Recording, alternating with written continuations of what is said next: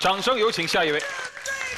周伟健，男，二十三岁，河北旅游职业学院中草药栽培技术专业。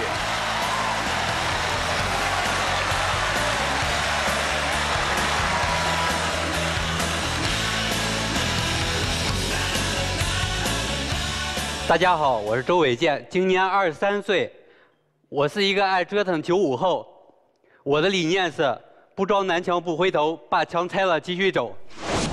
今天来到非你莫属，寻找一份管理、助理及销售的岗位，谢谢大家。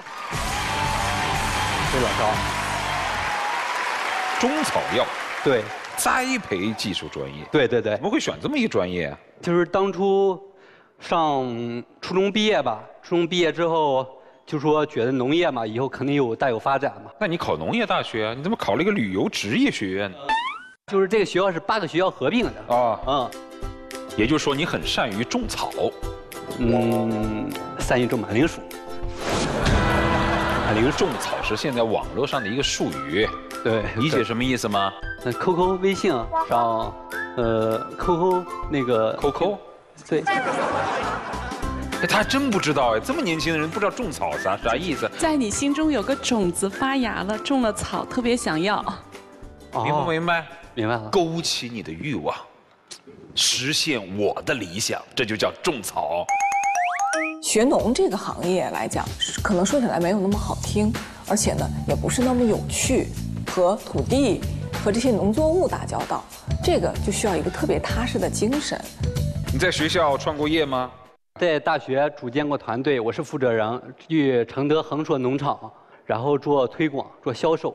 怎么样呢？做的在大学三年没有花家里的钱吧？真的啊？嗯家庭情况怎么样？嗯，挺贫困的。比如想今天想吃这个了，嗯，就考虑来考虑去，感觉家里没有钱，留着钱还是干别的吧。你爹是干嘛的？工人，妈妈呢？我妈也是工人。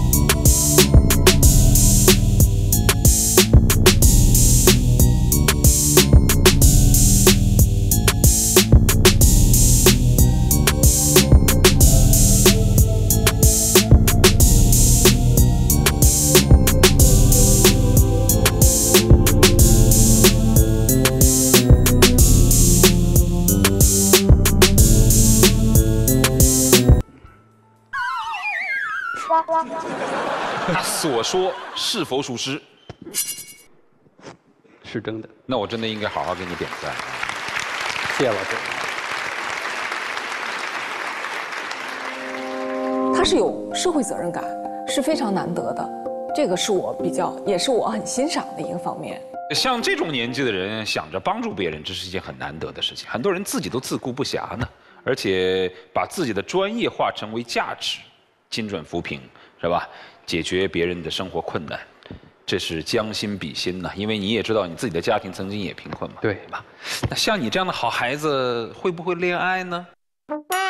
就说现在没有，以前有，以前有。咋分了呢？开始是喜欢的，结果经过接触一段时间，感觉不适合自己。哪不适合？嗯，不愿意跟着你一起吃马铃薯，对吃不了苦，对，比较物质，可能是吧。是吧？那你也找个什么样的呢？找一个，呃，能跟我同甘苦共患难的。慢慢找啊。你要求薪资多少啊？嗯，八千加，管理、助理、销售，底薪五千给我行。五千。对你所指的管理是管理什么？我因为有喜欢挑战、喜欢创新嘛，就说比如说有一个团队啊我们一个团队去搞一些，搞一些东西，搞一些点子，啊然后去做一些事情。凭什么你做管理呢？你管过多少人？在我们学校，团队是六个人，然后我们系里秘书处也有人。那你管人是怎么管的呢？我看你不像一个管人的人，像一个被管的人。对员工是海底捞那种政策，在我能力有限之后，把给他们开最最高的工资。你还是用情感去管理啊？对。有的人是为了钱，有的人是为了名啊，学术界的对吧？有的人为了政绩，有我将来环游世界，他就是为了一个小小的成就感。那如果为了成就感，就好好让他去玩这个游戏吧。周总，我想辞职。这个现在薪酬太低了，家里面负担有点重，嗯，所以我想换一个收入更高的工作。呃，你的理想岗位是什么呀？啊，我现在不是做行政吗？嗯。我觉得行政赚太少了，啊，我觉得我想去换一个更大的平台，然后拿更高的工资，因为我的生活压力有点大。除了会做这工作，还会做什么工作呀？我去做销售应该挺好的啊，销售可以挣得多嘛，对吧？嗯，这样吧，呃，那那啥，我给你安排一个销售兼那个行政。然后你先干着，薪资一半，然后你干得好之后，呃，你直接干销售，不用干行政。疯了！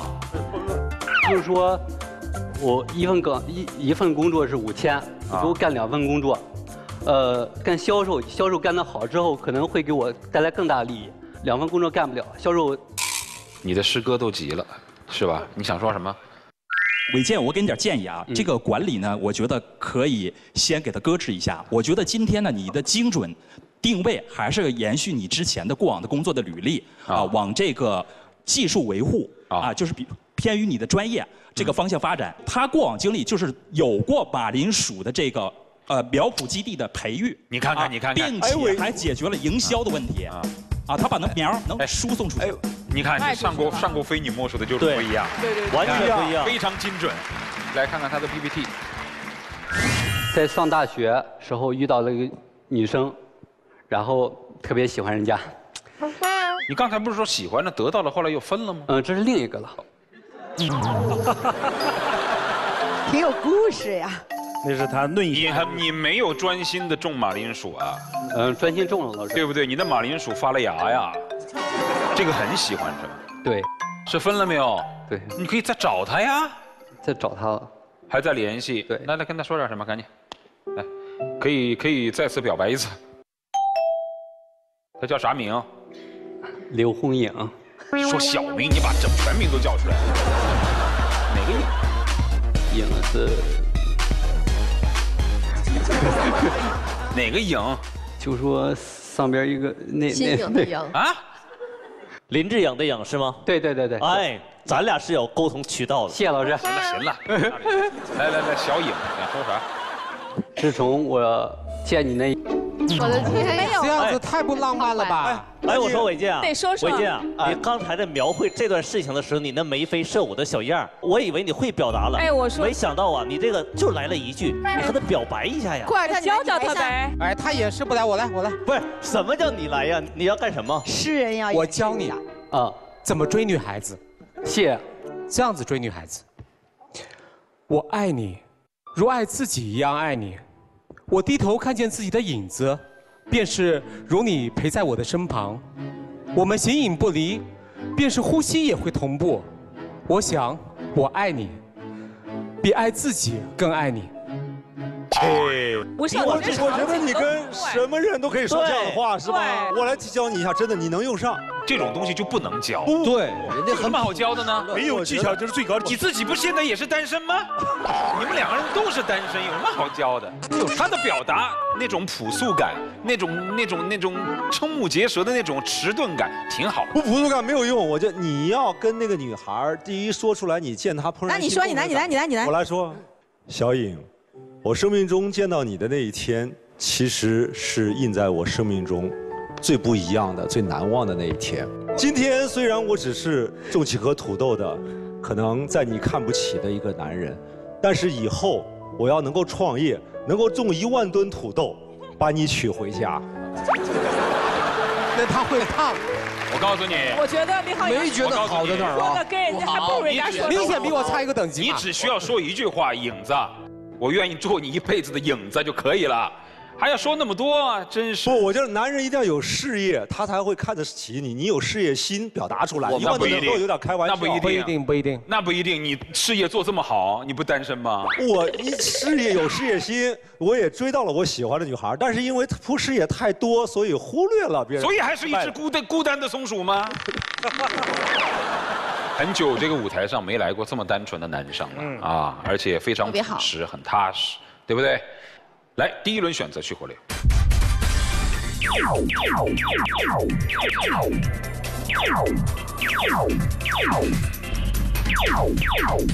还有四盏灯。天生我有才。进入职场情商课堂。在公司一年了，已经过了该涨工资的时候了，应该怎样主动和领导提涨工资的事儿？我的天哪，这对于你来说简直是易如反掌啊！领导，我要涨工资，怎么说？哎，我说你领导，怎么提？领导，哎，呃，这工资不够我生活了，然后我找对象了，嗯，领导，你能不能给我涨点工资？咋不够你生活了？你又不买新衣服。对不对？再加上那个影子，你也没得到啊，嗯，够用了。呃，那领导，我会继续努力工作。好，去吧。就这么着。呃，我觉得我这样说完之后，啊，领导会看我表现。如果我已经看你表现了呀。我我觉得你你第二次再来，你已经表现得很好，你再来再来再来。第二次来来了，第二次来了嘛。韦健获得了我们十月份的 Top Sales，大家鼓掌。呃，领导你好，就说十月份我拿得了这个奖，嗯，就说呃拿得了这奖，然后嗯经过很大努力，然后付出了很多，然后嗯给我涨点工资吧。你的努力不是你一个人的汗水吧？还有学弟学妹们一起帮你吧，对不对？对。所以你作为师哥应该有表率作用，应该多给学弟学妹们一些鼓励，给他们加点工资。你看，你还是上次那件衬衫都没换，你不需要花多少钱的，都让给学弟学妹好不好？去吧。你当你在前面的时候就已经意识到他其实是一个有点阿甘性格的人。尽管我们在这个岗位中间选的是岗位啊，但其实我们讨论的是那个人啊。我是觉得应该对他来讲，就按照他自己的真诚与热爱往前奔跑吧。今天你要面试的这个工作，以及刚才师哥的推荐，他的这种技术工种只适合崔生生，其他的好像也没有适合你的专业的工作哎。你有想过没有？嗯，想过。那怎么办？但今天就瞄准了崔生生一家猛攻。其实你要善于表达你自己想要的东西，我们才知道我们能够帮到你什么，给予你什么。原来不是做马铃薯，从那个育种到生产，呃，都做过，没有做过加工。然后今天看到那个咱们这儿来招聘了，然后我我觉得，嗯，我觉得这加工适合我，然后。还有就是说，销售这一块和马铃薯有关的工作。如此说来，他非你莫属。啊，我想问一下，就是当初你所谓给农户脱贫，你做了些什么呢？我们县没有马铃薯这种产业，就是没有这种公司，然后想着就说，嗯，他们种质特别差，然后就说给他们引进一点种子。哦，引进一些优良的品种。对对对，产量能提高。嗯。嗯，对，就是初心想做的这个。接着群姐的话说啊，其实你刚刚讲你在之前的工作当中，你有一个特别重要的能力，就是引进种子嘛。那除了这个之外，你还有别的贡献值吗？你还有什么样的能力？就是说我可以帮那个崔生公司选购马铃薯，比如说做薯条，马铃薯的产品是很重要的。嗯，呃，原材料的选取。对。希望做跟马铃薯相关的所有的工作，是我们企业。非常欢迎和喜欢的，因为他专注。我其实刚才一直在想，可以跟他匹配的岗位。其实他作为从他的专业来讲，他的专业度没有那么没有，其实对马铃薯的了解专业度也没有那么高。那他是初级的专员嘛？我觉得你可以考虑一下，给他一个储备岗位嘛。来，第二轮选择去火流。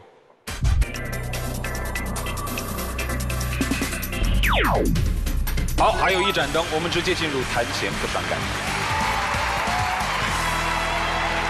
呃，呃，是这样。那如果说，呃，你如果愿意尝试品控，其实品控生产企业的品控其实非常专业的，他要对各个体系有非常多的了解。你过来也只能做做一个助理的岗。多少钱嘛？我们差不多五千块，要从头学起。可以，呃，就是买零数纯开是两年，几乎都是我自学的。自学的。对。行了，最后考虑十秒钟，做出你的选择。